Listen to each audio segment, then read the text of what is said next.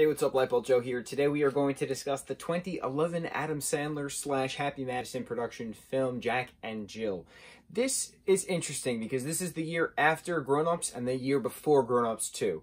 So, I never. Grown Ups 2 is 2012 or 2014? Man, I might just confused that. I know this is 2011 and Grown Ups was 2010. That much I remember. Um, what's entertaining is you have Adam Sandler playing Jack, and then his twin sister Jill. So he has to pull the whole cross-dressing thing off, and it worked. Then you also have David Spade playing this girl, Monica, which was absolutely hysterical, mind you, fighting Katie Holmes um, in a restaurant in the Bronx on New Year's Eve. So this starts on Thanksgiving. We kind of go through Hanukkah, but we, we don't celebrate Hanukkah, and then it, there's just Christmas-themed stuff everywhere. So this is a Christmas movie. Um, but we end on New Year's, so we go from Thanksgiving to New Year's. I don't. I know why I never saw this movie because it got terrible reviews, and I was very skeptical back in the day. But now that I uh, am well aware that I make my own reviews, um, this is hysterical. It had fart jokes. It had slapstick humor, as any good Happy Madison Adam Sandler film does.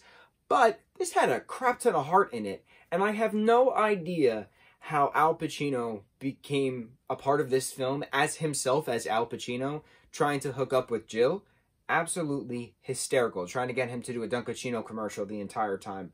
Um, I, I'm very impressed. I'm very impressed with, with how fast this film is, how entertaining it is, how, you know, the whole Happy Madison crew of uh, Sandman's friends just comes together and, and plays around on screen. It's just fun watching friends on screen have a good time.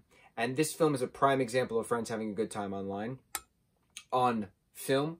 Um, I, I'm upset with myself that I have not seen this prior to 10 years after it was released. If this came out in 2011, we are in 2021, and it's been 10 years. Awesome film, great laughs, good heart, absolutely loved it, and Poopsie the Bird, prime star of the film. Mucho mahalo.